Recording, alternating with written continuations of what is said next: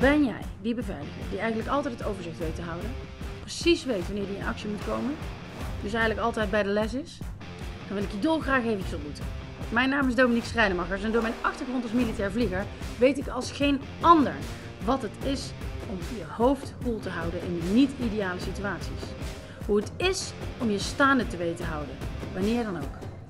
Ik ben voor de V-factor op zoek naar mannen en vrouwen die dat kunnen. Ben jij diegene die dat al heeft? Ben jij degene die dat wil worden? Of ken je iemand? Geef je dan op via de onderstaande link. Dan zie ik je binnenkort.